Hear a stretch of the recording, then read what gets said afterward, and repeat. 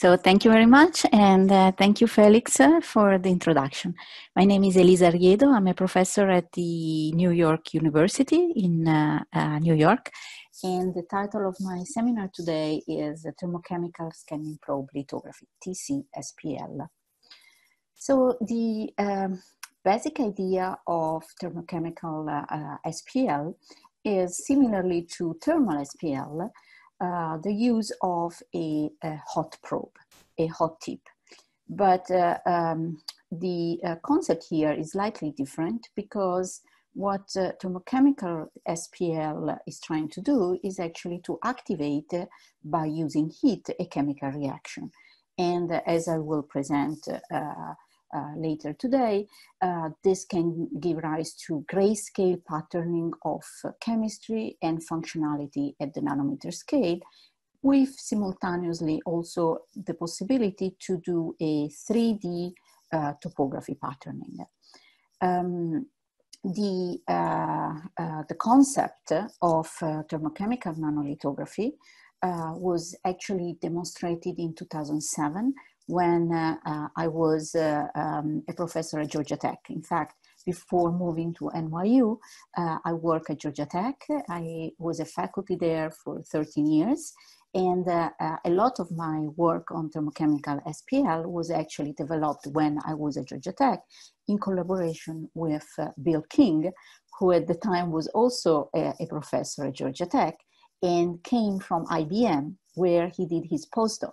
So in fact, uh, um, Bill King worked with Binnig and Vettiger at IBM in Zurich, moved to Georgia Tech, came with the technology of uh, hot tips and thermal probes and talked to me about what can we do with this amazing technology.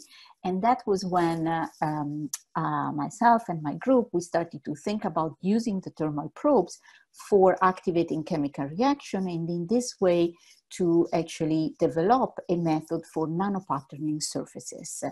Later on, uh, IBM uh, worked more focusedly on the uh, thermal SPL in the sense of, uh, as you have seen in many other seminars, right, using the heat for the evaporation of uh, a resist, PPA, which is excellent for the uh, topography patterning. And in 2013, uh, Swiss Litho, uh, the company, the startup company, came to life thanks to uh, Felix, uh, and uh, let's say the rest is history. okay, so let's see a little bit what you can do with this concept of thermochemical SPL. I must say that sometimes myself as well use TSPL just because now everything mm, mm, is becoming so broad that uh, uh, sometimes it doesn't really make sense to keep two names. So um, TSPL and TCSPL may be actually used uh, interchangeable but uh, um, let's try to stay focused for this seminar on the idea of the chemical reaction, of the thermally activated chemical reaction. So, um, so far uh, in my group, what we have demonstrated is the possibility to use uh, a polymer and then activate the chemical reaction, expose some functional groups, and then use these functional groups to actually attach other molecules like proteins or enzyme and also to create chemical gradients of these biomolecules. Um, next to that, we also have developed uh, a few methods for using this thermochemical approach for uh, 3D patterning, so for topography patterning of the polymer. Um, we also use uh, thermal and thermochemical uh, lithography for uh, um, building, uh, uh, and I must say in, for fabrication of electrodes. in this case, I would say is mainly thermal SPL, not thermochemical. So using the NanoFrazor technology with PPA, and uh, Xiaori um, uh, um, uh, Wang showed, Zheng showed this um, last week, I believe and uh, uh, you can also use the uh, thermal thermochemical lithography for magnetic patterning and finally you can use it uh, for um, local crystallization. So you can use a sol gel of a ceramic material and the heat can be used for the local crystallization, for example, of ceramic nanowires like PZT, so ferroelectric and piezoelectric ceramic nanowires. Or going back here in the electronic materials, you can use it for reduction, for example. So you have, for example, graphene oxide, and by using heat, you can reduce graphene oxide back to graphene. So again, is a thermochemical reaction locally activated by the hot probe. Okay, so today we're going to focus mainly on uh, um, chemical patterning uh, with uh, ad hoc polymers. So uh, similar to what you have seen for term, uh, TSPL, um, you need a good polymer, a good resist that is thermally sensitive um, if you want to do a topograph, a chemical patterning, what you need is a polymer that not only is thermally sensitive, like it evaporates, like in PPA, but you want something slightly different. You want something that change uh, the chemistry due to the presence of heat.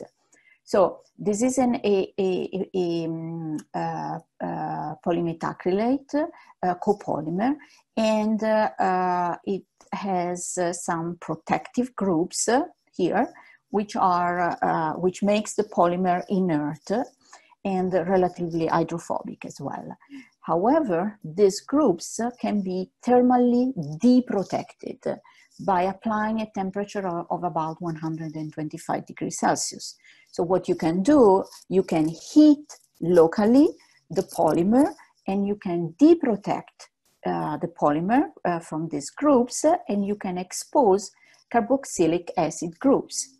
So this is what you have here. So this, uh, uh, the white area here is where the uh, protective group has been removed and it is where you have carboxylic acid groups. This is a, a friction image. Mm, why friction? Because friction tells you that some chemistry is happening here. So um, next step was, okay, um, can we uh, actually um, think about uh, creating pat uh, patterns of carboxylic acid groups or even of amine groups, which are actually perfect uh, functional groups to attach biomolecules and then deep in the solution of the biomolecule of interest, say proteins, and uh, use some uh, bioconjugation scheme to attach the um, biomolecules here uh, selectively to the patterns of amine. Then wash some wash protocol and generate a pattern of proteins, for example. So that was the idea. This is the uh, second type of, of copolymer. So this is a copolymer where uh, always a methacrylate copolymer where the um, functional groups now that are exposed after heating uh, are actually amine groups. Now, uh, you follow the same protocols uh, and you can also think about different bioconjugation uh, steps. So, for example, you can use uh, uh, deep in a solution with SPDP and transform your uh, amine groups into thiols group through a second washing with DTT or you can bioconjugate the, um, the thiols group with some NHS biotin, um, and then uh, have uh, uh, a pattern where you have uh, biotin, sorry, here, the red one is biotin, you have thiols here, and you have amine here. You have, so you have three different functional groups uh, and then use these three different functional groups uh, in a solution with uh, proteins, for example, uh, which can be bioconjugated specifically in uh, each type of functional group. So on thiols or on amine groups or on um, biotin. Uh, and and this is these are the results. So these are different uh, different type of proteins that have been uh, um, uh, bioconjugated to the amine patterns, and uh, uh, the different colors shows the the different proteins. And this is instead is DNA, so showing that you can also pattern DNA. Okay, next step next step is the idea of a chemical gradient. So can we um, create a chemical gradient? And the answer is yes. How do we do this?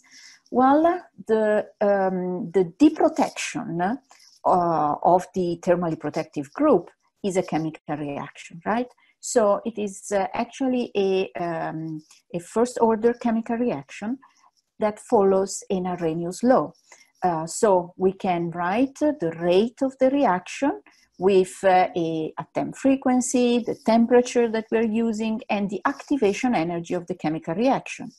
Then we can write for a uh, um, um, for this uh, type of chemical reaction, we can write the equation of how the probability of the reaction change with time and it follows a first order chemical reaction equation, and then with, with K being the uh, rate of the reaction.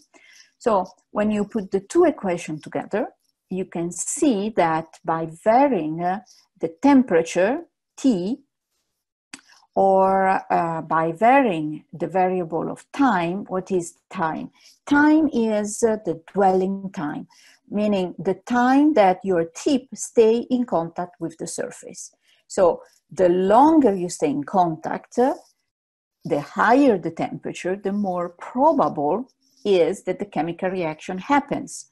The faster you move, less time you stay in contact, less probable is the chemical reaction.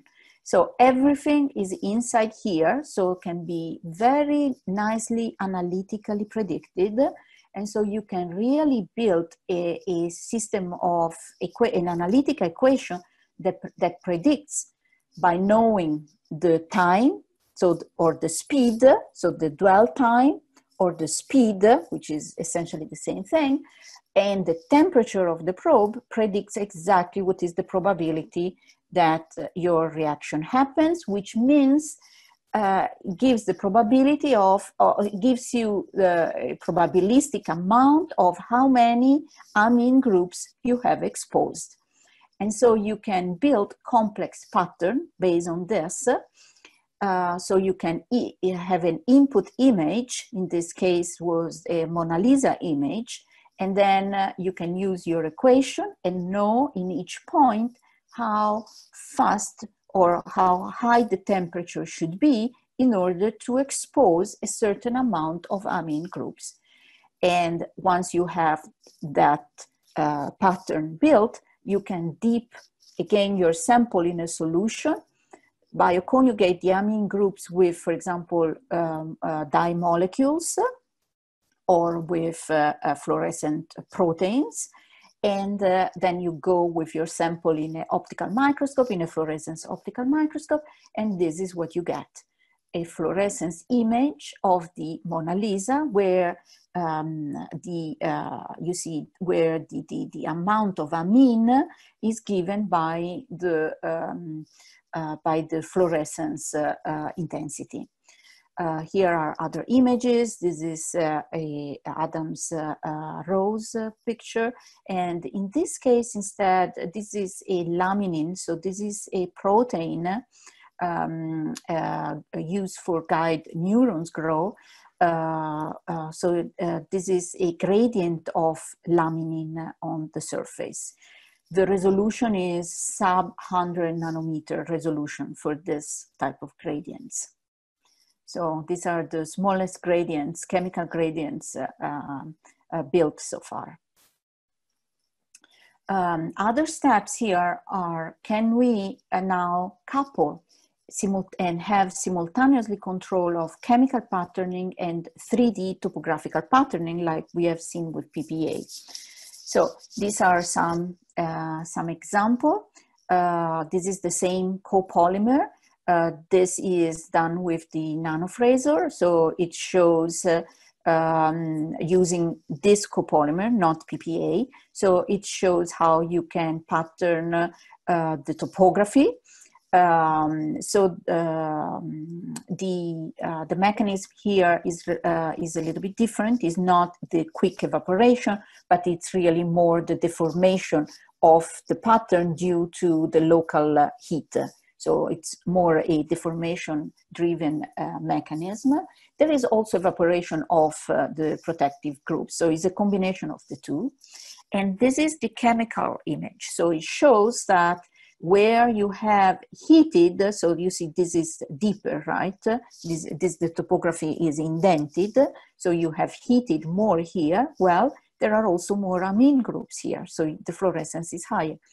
In this case, is a very different type of uh, thermochemical reaction. This is a precursor polymer of PPV. PPV is a conjugated uh, semiconductor polymer, which uh, uh, once um, the, um, the precursor is transformed in PPV, PPV, become, PPV is uh, also fluorescent, it's semiconductor and fluorescent. So what it shows here is that the image is uh, uh, showing some fluorescence, but it shows also a 3D patterning because when the precursor is transforming PPV, there is also a, um, a, a, shrinking uh, process. So you can also uh, change the topography by um, uh, by looking at the, um, sorry, not a shrinking, a, a, a swelling process. Okay, next step. Okay, what is the ultimate resolution, chemical resolution that we can achieve with this method? And can we really combine this with an extreme high uh, uh, topographical resolution? Why we want this. So uh, this was uh, and still is the uh, vision for why we started to go into this direction.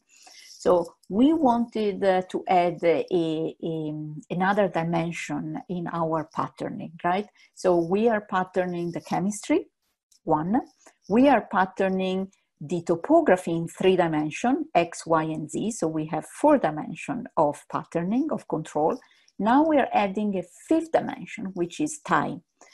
Can we create patterns that change with time? So they, they form and they dissolve. So dynamic nanopatterning or transient nanopatterning. How do we do this? Well, we can combine the um, uh, we can combine the uh, um, the chemical uh, patterning with biocatalytic self-assembly. And uh, uh, uh this self-assembly, I just saw the time, 39 minutes. Uh, Felix, I'm okay. I, can I keep going? Sure, sure. Go ahead. Go ahead. Good, good. good. oh, so 39 minutes. So I saw. Okay, so I, I will try to go a little bit faster. So no, you, you, can. You just talk for for maybe 20 minutes maximum. Ah, oh, good. So I don't know why I have 40 minutes here. Good. Thank you. so um, the, the uh, so what is biocatalytic self-assembly? So essentially, this is a reaction uh, that is triggered by enzyme. And uh, uh once uh, a peptide solution, certain peptides, are uh, um, embedded in a solution in presence of particular enzymes, what you have is a self-assembly of the peptides to form this very interesting fiber structure. And not only these fibers can form, but you can also use a biofuel to stop the reaction and then to reactivate the reaction. So with an external chemical trigger. So the idea here is to pattern enzyme on a surface with TCSPL where ideally we can have one enzyme per, uh, per spot and then bring in a solution uh, with these peptides, the biofuel, and start the growth of the, the fibers in each spot. And uh, uh, if we can also pattern different, uh, different enzyme, we will have also different types of fibers. So what it shows here, it shows uh, that uh, depending on the biofuel, we can activate the fibers green and blue, or we can activate the fiber orange, green, and blue, or only the fiber orange. So we can control in time what nanostructures form. So this is the, uh, the general idea. Uh, our part, so this was a collaboration with uh, Professor Ulijn at CUNY, and uh, our part, of course, is can we create patterns with single enzyme on the surface? So um, this work was was uh, uh, performed in my lab uh, with my student Xin Liu Liu, Shang Liu, um, and uh, we call it Shun, uh, with uh, this type of scheme. So we start again with the pristine polymer that I showed you before. So this is a methacrylate copolymer, uh, which expose amine groups, okay? Then, uh, as I say before, you can either expose amine groups at a certain temperature, then uh, dip in an enzyme solution, or you can also, we realized, if heating at much higher temperature, you can uh, go through a different chemical path and passivate the polymer. So depending on the temperature, you can uh, change the amount of amine exposed. You can decide to passivate the polymer or by controlling, and this is by controlling the temperature, okay? Like I say before. So the gradient, right? The temperature uh, can, can control the density of how many amine groups we can expose. Um, however, by controlling the load, so how much we, uh, we, we, what pressure we apply between the tip and the surface, we can also control the depth of the, um, uh, of the pocket where the enzyme we're going to stick. So the idea here is to be able to control the density of the enzyme and the 3D topography of the enzyme. Then uh, the bioconjugation that is used here is, is an electrostatic bioconjugation. So what we are going to do is we are going to attach the enzyme by using uh, a, sulfonated group which are negatively uh, charged. So these sulfonated groups are, uh, um, are uh, uh, conjugated to the enzyme and they're negatively attached uh, uh, ne sorry, negatively charged. And uh, so they are strongly attracted by the NH3 plus group on the surface. Uh, remember, all this uh, is happening in water. Um, uh, this reaction is happening in water and at room temperature. So first you create the amine and then the reaction of this uh, uh, electrostatic attachment happens in water. So it's a very strong, actually, um, it's a very robust, even if it's electrostatic, it's very robust. Um, this is a slide showing the uh, surface passivation scheme. So here what you have is uh, the pristine polymer. And as you can see here, unfortunately, the pristine polymer um, even if it is pristine, when you, uh, you in the solution with the enzyme, uh, uh, some of the enzyme will still attach to the polymer. So you are not able to, remember this enzyme uh, are bringing a, a very strong uh, negative charge. So somehow the, the polymer is still attracting this enzyme. So the, um, the, the, the, the non-specific binding is quite elevated. However, uh, if we heat at very high temperature this area, we can actually expose, as you can see here, some uh, COH groups, which are negatively charged. And so these uh, uh, carboxylic acid groups are actually um, uh, repulsing deposit the, the negative uh, uh, enzyme groups. And so they don't want to stick to the passivated area. So you see how dark is now the passivated area. On the other hand, the inner square is where we have the amine groups. So the positive NH3 groups uh, are instead attracting and uh, uh, quite strongly keeping attracted uh, the uh, negatively charged enzyme groups. So this is the, the scheme and this is FTIR to confirm uh, the presence of the different functional group that we are exposing. Okay, um, this slide uh, shows instead how we can control the enzyme density with the temperature, so the uh, percentage of amine groups, and the pocket depth, meaning the 3D, right? How, how, in, mm, uh, how deep is the indent that we are making.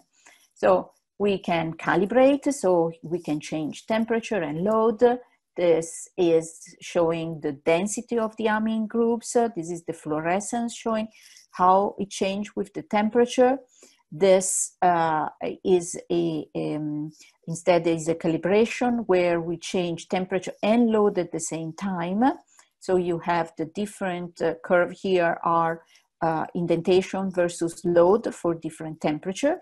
And this is the, uh, the, uh, the, two main equation that we are using. So we are using a modified Hertz model uh, modified because they, we, we assume that the Young modulus of the polymer becomes lower and lower with increasing temperature. So we can quite well control uh, the, uh, the, the pocket uh, depth by increasing the temperature because the softer is the polymer, right? The more for the same pressure we can make a bigger indent. This is what this equation is telling us and with the load. So the higher the pressure, the bigger the indent. So this equation is essentially giving us the fitting for the experimental curves. And uh, together with this equation, which is similar to what we have before, but now we have also to keep in mind that there is a passivation going on. So the activation of negatively and positively charged molecules. And that's why here you have the, the, the fluorescence have a maximum. So in the beginning, you expose only the, uh, the positive charges, so the enzyme won't attach. But then, high temperature, you start to expose also the negative charges, which repels the enzyme. So you have a maximum and then a decreasing. So by playing with this temperature that control the density and the temperature and load here that control the depth, you can precisely know how much enzyme you have and how deep your pocket it is. So you have a, a extreme good control of the um, of the two uh, uh, parameters, depth and density. Okay, so these are uh, other images showing that you know the you can do AFM to confirm the fact that first you put the amine, so you see there is this indentation, so formation of the pocket, so the indent, or let's say this is this is the, the pocket, right? This is what we are doing. We are creating a pocket and we put we, we then put the enzyme on it. So this is with enzyme, so after dipping in the solution with the enzyme, and you see that the indentation disappear because the whole pocket now is filled with the enzyme. And you can see this at different scale. This is a 100 nanometer pocket filled with enzyme. And this is the corresponding fluorescence demonstrated the presence also of the enzyme. Then we push the uh, resolution. And what you can see here is that we are able actually to make pockets where uh, uh, the size of the pocket is 8 nanometer. The size of the, a single enzyme is about eight, uh, 6 nanometer. So uh, these are single enzyme pockets. And these are nanowires where each wire actually has only one enzyme in it uh, in terms of width. So our single enzyme nanowires.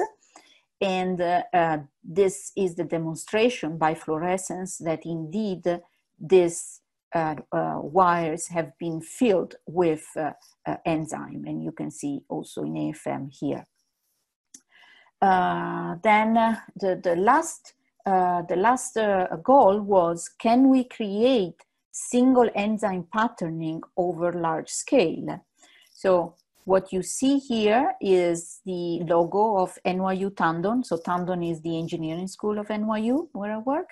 So every letter here, everything that you see here is made of single enzyme line lines. So the idea here is we built this N, again, you see the NanoFrazor image. So this N, you see, uh, zoom in here, is made of lines and each line is about 8, 10 nanometer width in width.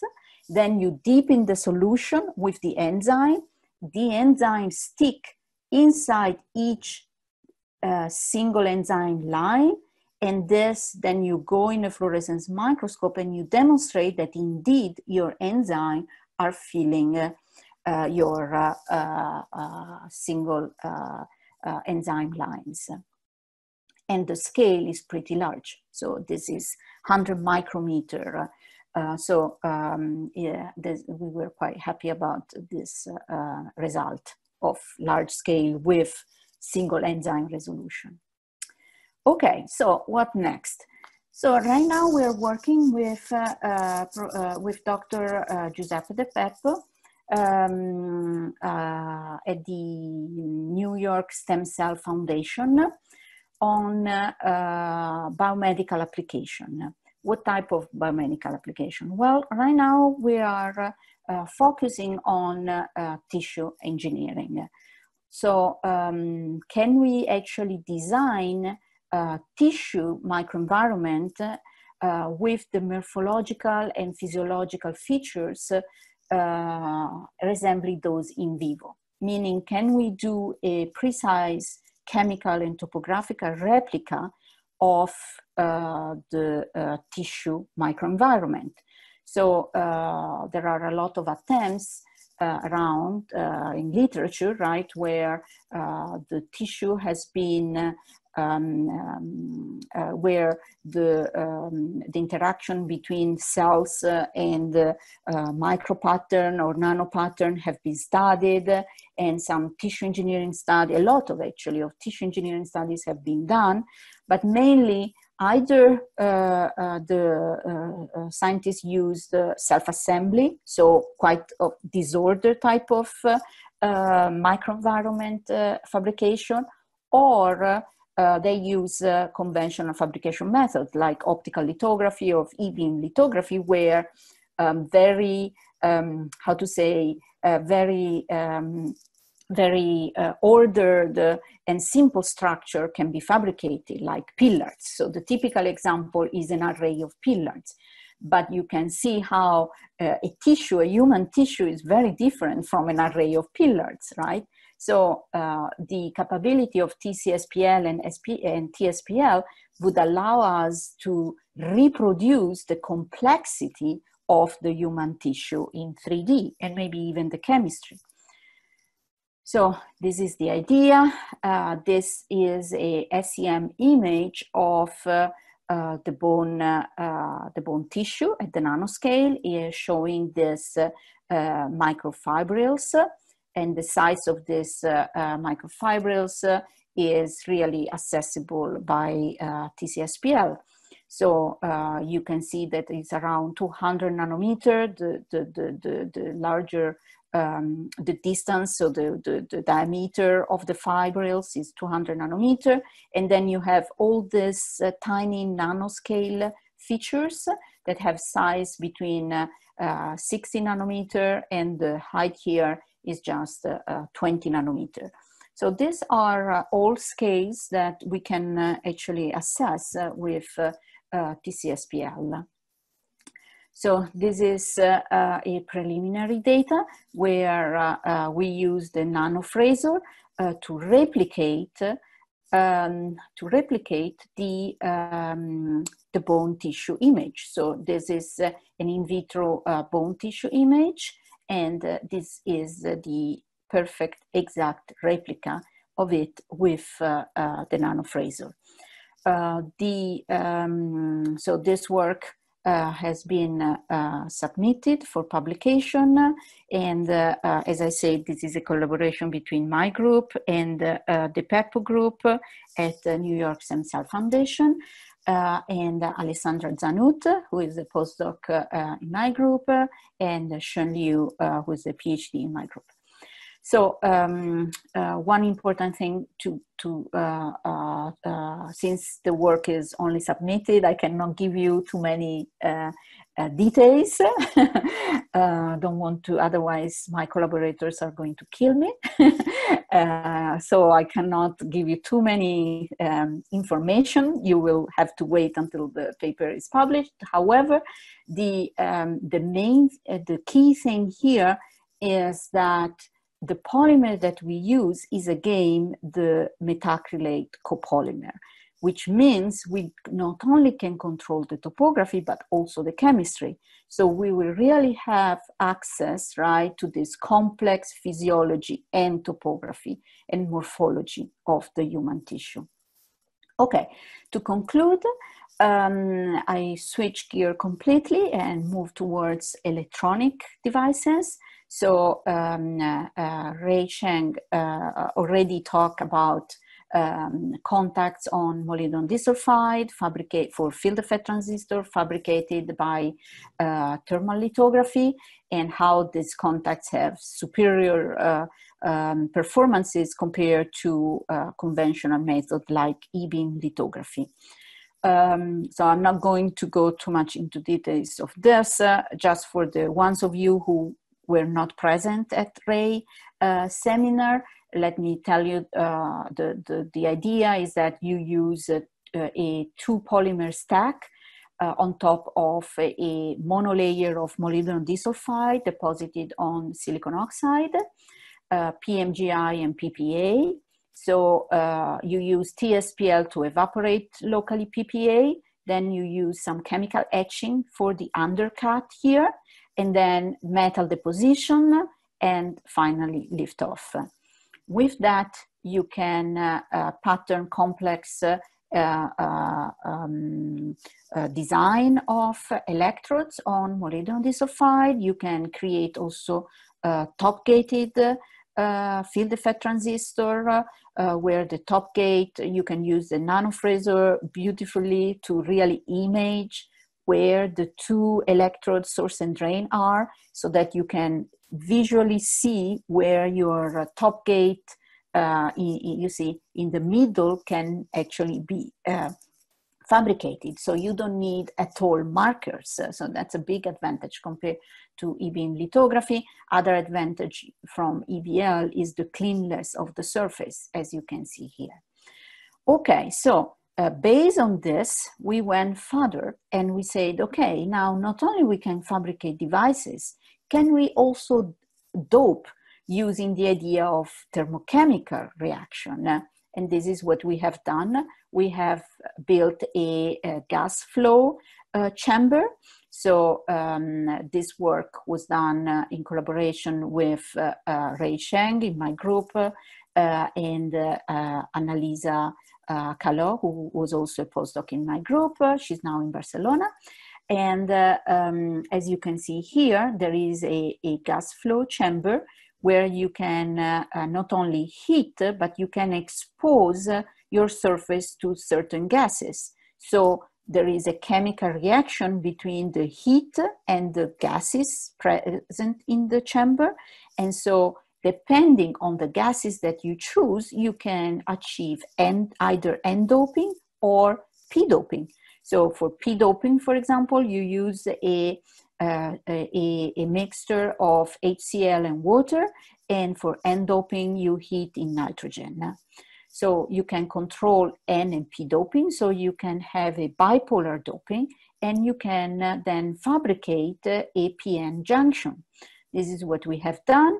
Uh, the again, the electrodes have been fully, uh, completely, uh, are fully deposited with TSPL. So the whole device from doping to electrode fabrication has been completely fabricated with thermal and thermochemical lithography and this is the rectification ratio 10 to the power 4 of the diode which is really an extremely uh, good uh, result uh, comparable with uh, state-of-the-art uh, p-n junction in uh, molybdenum disulfide with that i finish my seminar and i would like to thank people in my group i already mentioned Xiaorui Zheng, uh, Xiangyu Liu, Annalisa Calò, Edoardo Albisetti, Alessandra Zanut, and uh, um, who are the, the, the, main people working on TC and TSPL.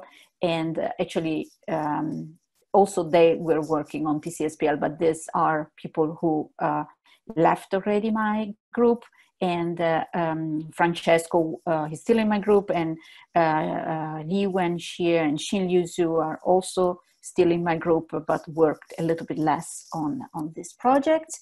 And then my collaborated collaborators uh, at NYU, Shahrjerdi Davood for the um, uh, electronic measurements, uh, Ulijn at CUNY, Marcus Back, who actually developed the methacrylate copolymer uh, for all the um, experiments that you have seen Bill King uh, uh, for our initial collaboration and also Jennifer Curtis for our initial collaborator collaboration and then all the team at uh, uh, SwissLitho, which is now, I'm sorry, uh, Heidelberg Instruments, who have been fantastic and always, uh, um, always willing to help uh, and also actually uh, a great friendship developed.